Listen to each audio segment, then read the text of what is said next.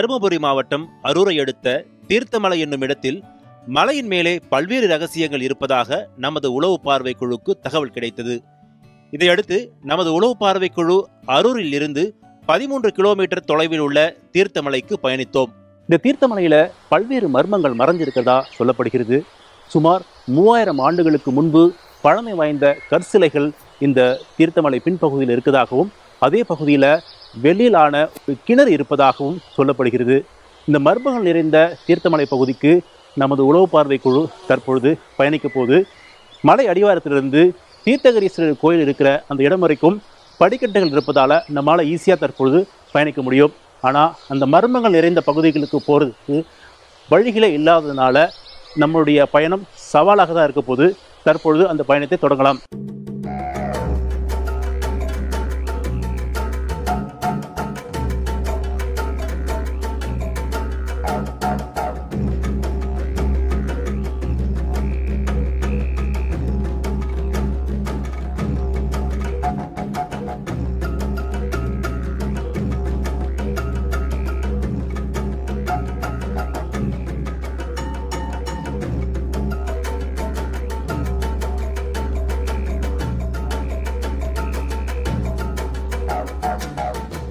அடிவாரத்திலிருந்து தீர்த்தகரீஸ்வரர் கோயில் வரை கற்களால் ஆன செங்குத்தான படிக்கட்டுகள் அமைக்கப்பட்டிருந்தன. நாம் சென்றிருந்த போது விசேஷ தினம் என்பதால் பக்தர்கள் வரத்து சற்று அதிகமாகவே காணப்பட்டது. வழிநடிகளும் குரங்குகள் கூட்டத்தினை சமாளித்தபடியே மக்களோடு மக்களாக தீர்த்தகரீஸ்வரர் கோயிலை சென்றடைந்தோம். கோயிலுக்கு அருகில் மெல்லிய நீர் ஊற்றுகள் பாறைகளிலிருந்து வழிந்து கொண்டிருந்தன. அதை பக்தர்கள் பிளாஸ்டிக் குவளையிலும் கேன்களிலும் பிடித்து அவற்றை அருந்தியும் அதில் குளித்தவாறும் இருந்தனர்.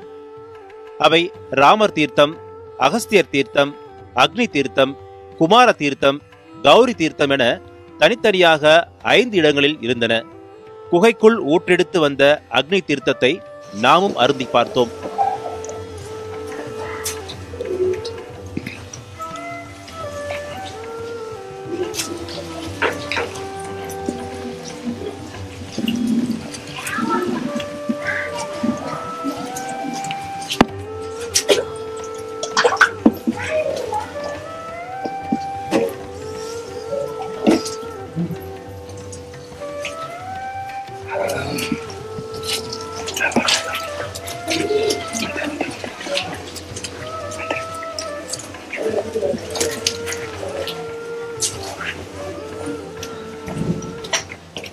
வித்தியாசமான சுவையோடு இருந்த ஊற்று நீர் வருடம் முழுவதும் வத்தாமல் வந்து கொண்டிருக்குமாம். இதனிடையே வரலாற்று பேராசிரியர் சந்திரசேகர் என்பவரையும் மூலிகை ஆராய்ச்சியாளர் மணி என்பவரையும் கோயிலில் சந்தித்தோம். அவர்களிடம் ஊற்று நீர் குறித்து கேட்டபோது இந்த பாறை ஊற்று நீரில் பல வகையான கனிம சத்துகள் உள்ளதாகவும் இதனை பருகும் மக்களுக்கு பல்வேறு வகையான நோய்கள் குணமடைவதாகவும் இதற்காகவே இங்கு பல்வேறு பகுதிகளில் இருந்தும் பக்தர்கள் வருவதாக தெரிவித்தனர். அகஸ்தியர் தீர்த்தத்தை எடுத்து நீங்கள் குடிச்சீங்க அப்படின்னு சொன்னால் உங்களுக்கான வயிற்று வலி வயிற்று உபாதைகள் சரியாயிடும். அக்னி தீர்த்தத்தை எடுத்து குடிச்சிங்க அப்படின்னு சொன்னாக்க உங்களுக்கான அல்சர்னு சொல்லக்கூடிய அந்த புண்ணு நல்லாயிடும். ஏன்னா நாங்கள் வந்து ப்ராக்டிக்கலாகவே இதை தே- சரி பண்ணி பார்த்துருக்கோம். அல்சர் வந்து கிளியர் ஆயிருக்கா இல்லையான்னு சொல்லிட்டு. பன்னெண்டு தீர்த்தங்கள்ல வந்து மேல் பகுதியில் வந்து அஞ்சு தீர்த்தங்கள் இருக்குது. இந்த அஞ்சு தீர்த்தங்கள்ல பார்த்தீங்கன்னா வந்து அகஸ்தியர் தீர்த்தம் வந்து ரொம்ப அற்புதமான வந்து தீர்த்தங்கள். ரோம நோய்கள் கேன்சர் எல்லாத்தையும் குணப்படுத்துறதுக்கான இந்த தீர்த்தத்தை வந்து பருகினால் வந்து குணப்படுத்தலாம். கோயிலை சுற்றி வந்தபோது எண்பத்தி ஐந்து வயது மூதாட்டி ஒருவர் கோயிலை சுத்தம் செய்தும் பூஜை புனஸ்காரத்தில் ஈடுபட்டிருந்ததையும் காண முடிந்தது. அவரிடம் அணுகி நாம் தேடி வந்த மர்மங்களை குறித்து கேட்டோம். இருபத்தி எட்டு ஆண்டுகளாக கோயிலிலேயே தங்கி இறை வழிபாட்டில் ஈடுபட்டிருப்பதாகவும் மலைக்கு மேலே பல மர்மங்கள் குடிகொண்டிருப்பதாகவும் மூதாட்டி தெரிவித்தார். உண்மையா இருக்கு. என்ன? வெள்ளி காசி அடியில் ஊற்றி தண்ணி குடிச்சிருக்கிறாங்க. என்ன? இவங்க இந்த உலகம் கலியோகம் பிறக்க பிறக்க இவங்கெல்லாம் தெய்வமாக மாறிட்டாங்க. இப்போ அந்த குளமும் குளமும் பில்லு முளைச்சி போச்சு மரம் முளைச்சி போச்சு. சீலநாயக்கன் என்ற குறுநில மன்னன் பெயரில் உள்ள கோட்டை வெள்ளி கிணறு சப்த கன்னிகள் சிலை சித்தர்கள் வாழ்ந்த குகை போன்றவை உள்ளதாக நம் ஆர்வத்தை தூண்டினார் மூதாட்டி. கரிங்கல் கோட்டை இருந்துச்சு செங்கல் கோட்டை இருக்குது கிணறு இருக்குது குளம் இருக்குது. அவங்க ஆண்ட பொருள் எல்லாம் அங்கே இருக்குது. சித்தர்கள் வாழ்ந்த குகையெல்லாம் இருக்கின்றாங்களே உண்மைங்களா? நிறைய இருக்குது. நீங்கள் போய் பார்த்தா எல்லா கோயிலும் தெரியும். பதினெட்டு சித்தர்களையும் இங்கு பார்த்துள்ளதாகவும் அவர்கள் இங்குள்ள தீர்த்தங்களில் நீராடி தரிசனம் தந்ததாக நம்மை மேலும் விறுவிறுப்பேற்றினார் இந்த மூதாட்டி. இந்த பதினெட்டு சித்திரங்களில் நாலு பேர் தான் அங்கே இருக்கிறாங்க. மீதி பேரெல்லாம் கீழே தான் கீழே தான் இருக்கிறாங்க சாமி. இந்த கோயில பாத்திருக்கீங்களா இந்த கோயிலில் நான் பார்த்தேன். எங்க எங்கெல்லாம் பாத்திருக்கீங்க நான் இங்கேயே பார்த்தேன் இந்த இடத்துலையே. இதே இடத்துல அந்த தீர்த்தத்தாண்டிருந்து அந்த நவகிரக வரைக்கும் நிற்கிறாங்க பன்னெண்டு ஒரு மணிக்கு பார்த்துருக்கேன். துர்கை குளிக்கிறதையும் பன்னெண்டு ஒரு மணிக்கு பார்த்துக்கிறேன். துர்கை கேட்டத்தையும் அவங்க அவ என்ன கேட்டாலும் அது செஞ்சிருக்கிறேன் என்கிட்ட பேசாத தெய்வம் இல்லை. எல்லாம் ராத்திரிக்கெல்லாம் பேசின்னு தான் இருப்பாங்க. இப்போ தான் நினைவும் கனவும் கொஞ்சம் கம்மியாயிடுச்சு. கோயிலில் நாம் சந்தித்த வரலாற்று பேராசிரியர் சந்திரசேகரும் மூதாட்டி கூறிய சில விஷயங்களை உண்மை எனவும் தீர்த்தகரீஸ்வரர் கோயிலில் இருந்து சுமார் பதினைந்து கிலோமீட்டர் மேலேதான் நாம் தேடி வந்த ரகசியங்கள் உள்ளதாக தெரிவித்தார். மலை மேலே செல்ல பாதை இல்லாத காரணத்தினால் அப்பகுதியை சேர்ந்த சிலரை நம்முடன் வழிகாட்டிகளாக அழைத்துச் சென்றோம். மலையில் புதைந்துள்ள ரகசியங்கள் குறித்து கேட்டறிய வரலாற்று பேராசிரியர் சந்திரசேகரனையும் மூலிகை ஆராய்ச்சியாளர் மணியையும் நம்முடன் அழைத்துச் சென்றோம். ஆர்வத்துடன் மலையில் புதைந்துள்ள மர்மங்களை கண்டறிய நடக்கத் தொடங்கினோம். தொடக்கத்திலேயே கரடு முரடான பாதைகள் நம்மை வரவேற்றன.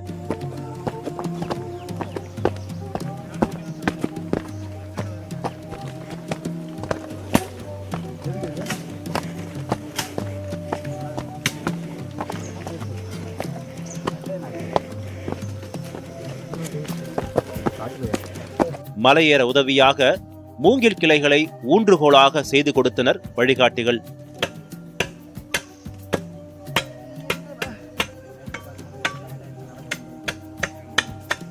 எங்கு பார்த்தாலும் பசுமை நிறைந்த சோலைகள் பாதையின் குறுக்கே அணிவகுத்து சென்ற காட்டெரும்புகள் என இயற்கையின் எழில் நம் கண்களுக்கு விருந்தாக மாறின.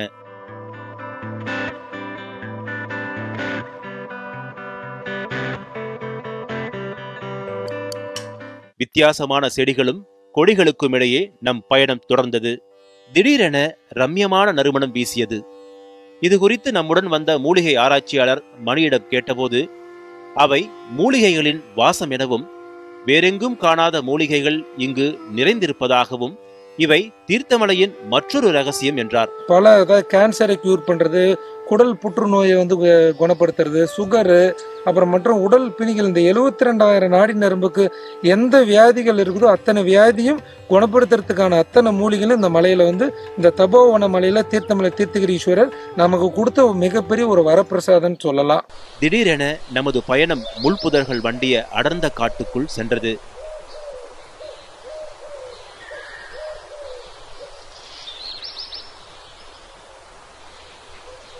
தீர்த்தமலையில் இருக்க ரகசியங்களை தெரிஞ்சுக்கிறதுக்காக அடர்ந்த காட்டுக்குள்ளே நம்ம இப்போ பயணிச்சுட்டு இருக்கோம். இந்த தீர்த்தமலையில் பல்வேறு ரகசியங்கள் மறைஞ்சிருக்கிறதா சொல்கிறாங்க குறிப்பாக வெளியிலான அந்த கிணறு இருக்கிறதா சொல்கிறாங்க அந்த கிணறு பார்த்திங்கன்னா இப்போ நமக்கு பின்னாடி இருக்கிற இந்த மலையை தாண்டி தான் அந்த கிணறு இருக்கிறதா சொல்கிறாங்க மேலும் இந்த மலைக்கு தாண்டி அந்த கிணறு பக்கத்தில் ஒரு கோட்டை இருக்கிறதாகவும் சொல்கிறாங்க அந்த கோட்டையில் தங்க கொடிகள் ஓடுறதாகவும் சொல்கிறாங்க அந்த மர்மங்களை தேடி நம்ம தொடர்ந்து பயணிப்போம். சுவர் போல உள்ள மலைக்கு அப்பால் இருக்கும் கோட்டை மற்றும் வெள்ளிக்கிணறு பகுதிக்கு போகும் பாதையை வழிகாட்டி நமக்கு விளக்கி கூறினார். இந்த மலைக்கு முன்னாடியா? ஆமாங்க சார். கிணறு இருக்குங்க போட்டெல்லாம் எங்கே இருக்குங்க கோட்டை அதுக்கு மேலே ஒரு நூறு மீட்டர் அப்புறம் கிணறுக்கு பின்னாடி தான் கோட்டை இருக்கு. ஆமாங்க. இப்போ நம்ம இப்படி இப்படி பதிலாக போகிறோமா ஆமாங்க சார். அந்த பாறை முடிகிற இடத்துல அது வந்து மேலே ஒரு அந்த பாறை முடிகிற இடத்துலேருந்து போகிறோம் சிறிது தூரம் சென்றவுடன் பாதைகள் பாறைகளாக மாறி நமக்கு மேலும் சிரமத்தை தந்தன. பாறையின் மீதும் பாறையின் இடுக்குகளுக்கிடையேயும் நமது பயணம் தொடர்ந்தது.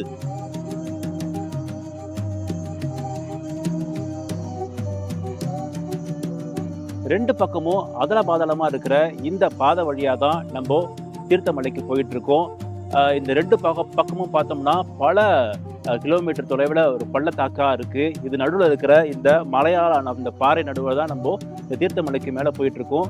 இப்போ நம்ம பாதி தூரம் தான் கடந்திருக்கோம். இன்னும் பாதி தூரம் நம்ம கடந்து போனால் தான் வெள்ளிக்கிணறு கோட்டை போன்ற இடங்களுக்கு நம்மளால் போக முடியும்னு நம்ம கூட வந்து வழிகாட்டி சொல்கிறாங்க இப்போ நம்ம அங்கே போகலாம்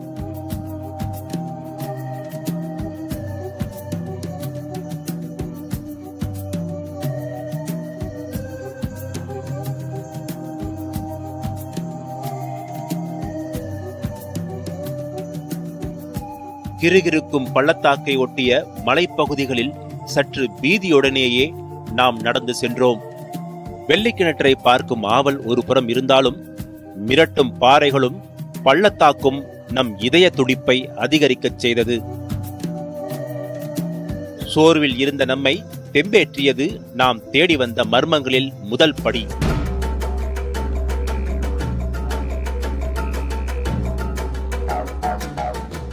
நம்ம ஆவலோடு தேடி வந்த வெள்ளி கிணறை ஒரு வழியாக நம்ம பார்த்துட்டோம். இதுதான் அந்த வெள்ளி கிணறு. பல அடுக்கு உரைகள் கொண்ட இந்த வெள்ளி கிணறு பல அடி ஆழம் இருக்கிறத நம்மளால் இங்கே பார்க்க முடியுது. இந்த கிணத்தோட அடிப்பகுதியில் தான் வந்து வெள்ளி இருக்கிறதா சொல்கிறாங்க ஆனால் அந்த ஒரு காட்சியை நம்மால் இப்போ பார்க்க முடியல. ஏன்னா கிணத்தோட ஆழப்பகுதியில் மணலாலும் கல் கற்களாலும் வந்து ஒரு தூர்க்கப்பட்ட ஒரு நிலையை தான் நம்ம இங்கே பார்க்க முடியுது. ஆதி தமிழர்கள் வாழ்ந்ததற்கான ஒரு அடையாளமாக இந்த வெள்ளி கிணறு இருக்கிறதா இங்கே சொல்லப்படுது. அது மட்டும் இல்லாமல் சீலநாயக்கன் கெட்டி முதலியார் போன்ற சிற்றரசர்கள் இந்த தீர்த்தமலையில் அவங்களுடைய போர்படைகளை போர் படைகளை இங்கே தங்க வச்சிருக்கும் பொழுது இந்த கிணறை கட்டினதா சொல்கிறாங்க அவங்களுக்கான நீர் ஆதாரமாகவும் இந்த வெள்ளிக்கிணறை பயன்படுத்துனதாகவும் இங்கே இருக்கிற அப்ப ஆராய்ச்சியாளர்கள் தெரிவிக்கிறாங்க. ஒட்டுமொத்தத்தில் இந்த வெள்ளிக்கிணறு இங்கு ஆதித்தமிழர்கள் வாழ்ந்ததற்கான ஒரு சான்றா நம்மால் அங்கே காண முடியுது. கிணற்றில் வெள்ளியை காண முடியவில்லை என்ற ஏமாற்றம் நமக்கு இருந்த போதிலும் தொடர்ந்து கோட்டையை நோக்கி நம்மை அழைத்துச் சென்றனர் வழிகாட்டிகள்.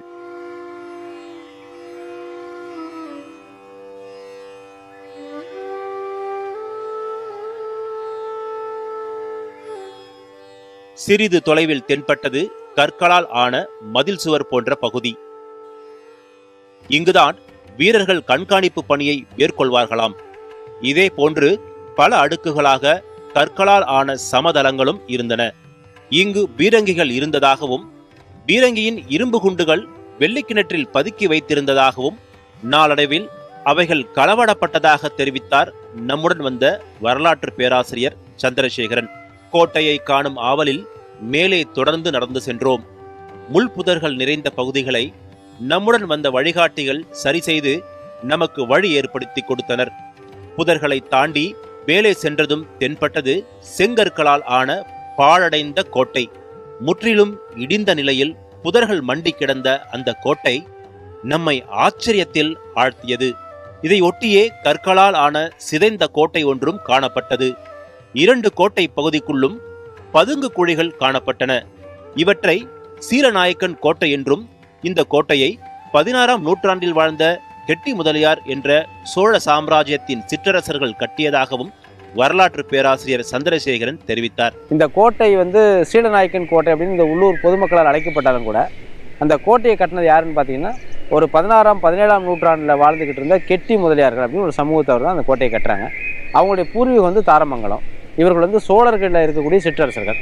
இவங்க கட்டின இன்னொரு கோட்டை வந்து தென்கரை கோட்டை. இந்த கோட்டை வந்து ஆக்சுவலாக வாட்சிங் டவர் மாதிரி பயன்பட்டுருக்கு. அதாவது ஒரு கண்காணிப்பு கோபுரம் மாதிரி இந்த கோட்டையை பயன்படுத்தியிருக்காங்க. அதனால் பெரும்பாலும் போக்குவரத்து இல்லைன்னு சொன்னால் கூட மேலே போகும்போது நிறைய மர்மங்கள் நம்மளை ஒரு ஆட்கொள்ளுது. நாம் நின்றிருக்கும் இந்த பகுதியில் உள்ள பாறைகளில் தங்கம் வெள்ளி கனிமங்கள் உள்ளதாக அதிர்ச்சியூட்டும் தகவலை தெரிவித்தார் பேராசிரியர் சந்திரசேகரன். இந்த பகுதியில் தங்கம் கிடைக்குது அப்படின்னு ஒரு வதந்தி இருந்தது. அந்த வதந்தியை ப்ரூவ் பண்ணக்கூடிய வகையில் வந்து இங்கே நடைபெற்ற ஆராய்ச்சிகள் என்ன தெரிஞ்சதுன்னா தங்கம் இருப்பது உறுதி செய்யப்பட்டது. ஆனால் அளவு எவ்வளோன்னு தெரியல. இவ்வளோ அளவுக்கு அதிகமாக தங்கம் இருக்கான்னு தெரியல. ஆனால் இந்த மலையில் தங்க கொடிகள் ஓடுவதாக மக்கள் கூறியது உறுதி தான் ஆனால் இது வரைக்கும் ஏன் எடுக்காமல் இருக்காங்கன்னா ரெண்டு காரணம். ஒன்று தங்கம் இருக்குன்னு சொன்னால் பொதுமக்கள் அவங்களாவே சட்டவிரோதமாக எங்கேயா தோண்டி இந்த மலையை வந்து புனிதத்தை கெடுக்கக்கூடும். ஒன்று ரெண்டாவது நம்மகிட்ட இருக்கக்கூடிய அந்த தொழில்நுட்பம் வந்து குறைவாக இருக்கனால இருக்கிற தங்கத்தை விட நம்ம எடுக்கக்கூடிய செலவு அதிகமாகுன்றனால அரசாங்கம் தயங்கி இருக்கலாம். ஆயிரத்தி எட்நூறாம் ஆண்டுகளில் சேலத்தைச் சேர்ந்த லேபான் என்ற ஆங்கிலேய ஆட்சியாளர் தீர்த்தமலையில் கனிமங்கள் இருப்பதை ஆவணப்படுத்தியுள்ளதாகவும் வரலாற்று பேராசிரியர் தெரிவித்தார். ஆயிரத்தி எட்நூறு வாக்கில் சேலத்தில் இருந்த லேபானு அப்படின்னு சொல்லக்கூடிய ஒரு ஆங்கிலேய ஆட்சியாளர் என்ன பண்ணான்னு சொன்னால் இந்த மலை இதில் கூடிய கனிம வளங்களை முதல் முறையாக ஆராய்ச்சி செஞ்சவர் அவர் தான். ரெக்கார்டுக்கெல்லாம் எழுதி வச்சுட்டு போய்க்கிறார். நிறைய கனிம வளம் இருக்குது இதை ஆராய்ச்சி பண்ணால் எதிர்காலத்தில் வந்து பெரிய ஒரு சுரங்கம் மாதிரி கிடைக்கும்னு சொல்லிட்டு போய்க்கிறாரு. ஆனால் அதுக்கு பின்னாடி வந்து ஆட்சியாளர்கள் தங்களுடைய அலட்சியத்தின் காரணமாகவும் தற்போது இருக்கக்கூடிய சூழலில் அதை எடுத்தோம்னா நம்மளுக்கு பயன்படுமா பயன்படாதா அப்படின்ற கூடிய ஒரு கருத்தாக்கத்தின் காரணமாகவும் இங்கே இருக்கக்கூடிய கனிம வளத்தை வந்து எடுக்காமல் இருக்காங்க. ஆனால் நிச்சயமாக இந்த பகுதியை அரசாங்கமும் தொல்லியல் துறை உதவியோடு இங்கே ஏதாவது ஒரு ஆய்வுகளை மேற்கொண்டு ஆராய்ச்சி மேற்கொண்டுன்னு சொன்னால் இந்த பகுதியில் இருக்கக்கூடிய மக்கள் வளம் பெறக்கூடிய அளவிற்கு மிகப்பெரிய ஒரு சுரங்கத்தை ஒரு கனிம வள சுரங்கத்தை இங்கே பார்க்க முடியும். கனிமங்கள் நிறைந்த இந்த தீர்த்தமலையை அக்கால மன்னர்கள் பாதுகாத்து வந்ததாகவும் தற்போது இந்த தீர்த்தமலை கேட்பாரற்று கிடப்பதாகவும் வேதனை தெரிவித்தார் வரலாற்று பேராசிரியர் சந்திரசேகரன். தொடர்ந்து மலை உச்சியை நோக்கி சென்றபோது தீர்த்தமலையின் அடுத்த அதிசயத்தை கண்டோம். இரு மிகப்பெரிய பாறைகளின் இடுக்கில் மனிதர்கள் செல்ல முடியாத இடத்தில் பாறைகளின் பக்கவாட்டில் சிலைகள் செதுக்கப்பட்டிருந்தன. இவை பழந்தமிழர்கள் வழிபட்ட சப்த கன்னிகள் என கூறப்படுகிறது.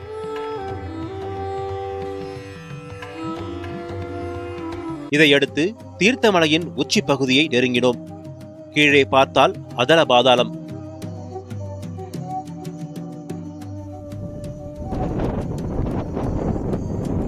பலத்த காற்று வீசியது. நமது ரோமங்கள் சிரித்தன. பள்ளத்தாக்கை பார்த்தவுடன் தலை சுற்றத் தொடங்கியது. வழிகாட்டிகளில் சிலர் உச்சியை அடைந்தனர். நமது பயணம் இதற்கு மேல் தொடர வேண்டாம் என யோசித்து திரும்பிச் செல்ல முடிவெடுத்தோம். அந்த சமயத்தில் வழிகாட்டிகளில் ஒருவர் நமக்கு தைரியத்தை கொடுத்து உச்சியை அடைவதற்கான நுணுக்கங்களை கற்றுக் கொடுத்தார்.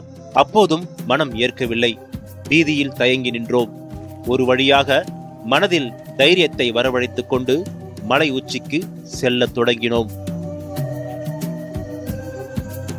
நம்மை சுற்றிலும் பெரும் பள்ளத்தாக்கு கால்கள் நடுங்கின.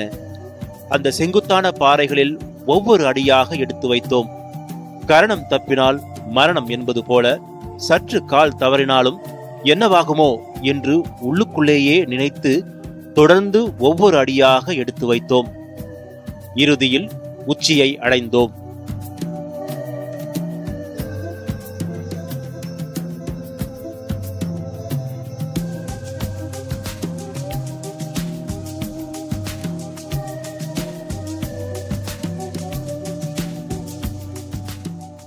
தீர்த்தமலையோடைய உச்சி பகுதிக்கு நம்ம வந்திருக்கோம். கடல் மட்டத்திலிருந்து கிட்டத்தட்ட மூவாயிரத்தி ஐநூறு அடி உயரத்தில் இந்த தீர்த்தமலைய உச்சி பகுதி அமைஞ்சிருக்கு. இங்கே ஒரு விநாயகர் சிலை காணப்படுது. இந்த விநாயகர் சிலை அந்த காலத்திலேயே சிற்றரசர்களால் நிறுவப்பட்டதாக சொல்லப்படுது. இதில் ஒரு சிறப்பம்சம் இருக்கிறதா இப்பகுதியில் இருக்கவங்க தெரிவிச்சிருக்கிறாங்க. என்னன்னா இது ஒரு கனிம கல்லால் செய்யப்பட்ட சிலைன்னு இங்கே இப்பகுதியில் இருக்க மக்கள் தெரிவிக்கிறாங்க. இந்த பகுதிக்கு சிற்றரசர்கள் இவ்வளவு தூரம் இந்த சிலையை வந்து எப்படி வச்சாங்கன்னு பார்க்கும்பொழுது ரொம்ப ஆச்சரியமாவே இருக்கு. ஆயிரம் வருடங்களுக்கு முன்பு சோழ மன்னர்கள் போருக்கு செல்லும் முன் இந்த சிலையை வணங்கி சென்றதாக கூறப்படுகிறது. பதினொன்றாம் நூற்றாண்டுல இன்னையிலிருந்து ஒரு ஆயிரம் வருஷத்துக்கு முன்னாடி இந்த உச்சி பிள்ளையார் உருவாக்கப்பட்டதாக கருதப்படுகிறது. இந்த உச்சி பிள்ளையார் வந்து என்னன்னா கனிம கல்லால் செய்யப்பட்டது இது. இந்த மலையில் இருக்கக்கூடிய கனிமத்தை சான்றாக வச்சுக்கிட்டு பார்த்தீங்கன்னு சொன்னா இந்த உச்சி பிள்ளையாருக்கு வந்து நம்மளுக்கு சிறந்த எடுத்துக்காட்டா இருக்கும். இவ்வளோ உயரத்தில் வந்து ஒரு கனிம உச்சி பிள்ளையார் சோழர் காலத்திலே ஒரு ஆயிரம் வருஷத்துக்கு முன்னாடியே நிறுவியிருக்கான்னு சொன்னால் இந்த மலையில் எவ்வளோ கனிம வளம் இருக்குன்றது நம்மளுக்கு தெரியும். ஏன் இங்கே வந்து இவ்வளோ ஹைட்டில் வந்து அந்த உச்சி பிள்ளையார் நிறுத்தியிருக்காங்கன்னு சொன்னால் தங்களுடைய வெற்றியை வலியுறுத்துவதற்காகவும் நாங்கள் எங்கேயாவது போருக்கு போரிட போகும்போது இந்த பிள்ளையாரை வணங்கிட்டு போனால் வெற்றி கிடைக்கும் என்பதற்காக இந்த கனிம பிள்ளையாரை செஞ்சு வச்சிருக்கிறதா கருதப்படுகிறது. இதை பற்றிய குறிப்புகள் நம்ம கல்வெட்டுகள்ல கிடைக்குது. ஸோ நம்ம கீழே இருக்கக்கூடிய அடிவாரத்தில் கோயில் கல்வெட்டுகள் இதை பற்றிய தகவல்கள் நம்மளுக்கு பெறப்படுகின்றன. ஒரு வழியாக வழிகாட்டியின் உதவியோடு மலை உச்சியில் இருந்து கீழே இறங்கினோம். நேரம் ஆக ஆக வெளிச்சம் குறையத் தொடங்கியதால் வழிகாட்டிகள் நம்மை வேறு ஒரு பாதையில் கீழே அழைத்துச் சென்றனர். அங்கு நாம் மற்றொரு அதிசயத்தை காண நேர்ந்தது. அதுதான் ஆதி மனிதர்கள் வாழ்ந்த குகை. இந்த குகையை பாம்பாட்டி சித்தர் குகை எனவும் அழைக்கின்றனர். சித்தர்கள் இங்கு தவம் இருந்ததாகவும் கூறப்படுகிறது. குகையின் உள்ளே சிறிய வலை போன்ற ஒரு வழியும் தெரிந்தது. பெருங்கற்காலத்திலிருந்து மக்கள் வாழ்ந்ததற்கான அடையாளங்கள் கண்டுபிடிக்கப்பட்டிருக்குது. பெருங்கற்காலம் என்பது இன்றையிலிருந்து ஒரு மூவாயிரத்தி ஐநூறு நாலாயிரம் வருஷத்துக்கு முன்னாடி இருந்து மக்கள் வாழ்ந்ததற்கான குகைகள் இங்கே பார்க்குறோம் நம்ம. இந்த குகைகள் ஒரு காலத்தில் வந்து இங்கிருந்த மனிதர்கள் வெளியேறிய பிறகு சித்தர்கள் இந்த குகையை பயன்படுத்தி இருக்கக்கூடும் இதன் உள்ள போய் பார்த்தீங்க அப்படின்னு சொன்னாக்க மண் வந்து ரொம்ப சாஃப்டாகவும் ஒளி சூரிய ஒளி உள்ள வர மாதிரியும் நீர் வளம் இருக்கிற மாதிரி இருக்கிறதுனால நீண்ட கால மக்கள் வந்து இங்கே வாழ்ந்துட்டு இருக்கிறதுக்கான அடையாளங்களை நம்மளால் கண்டுபிடிக்க முடியுது.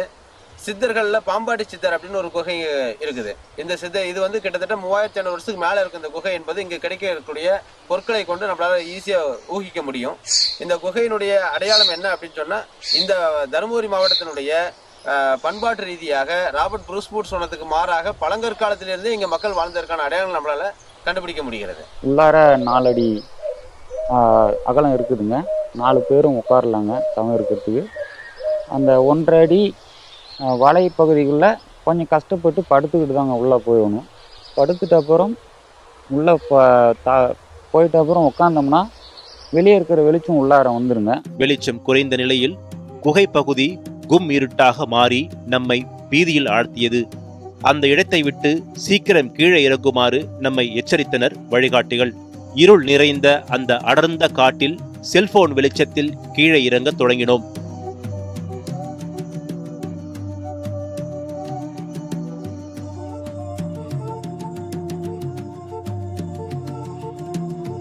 ஒரு வழியாக தீர்த்தமலையின் ரகசியங்களை அறிந்த மனநிறைவில் நமது உளவு பார்வை குழு அடிவாரத்தை அடைந்தது.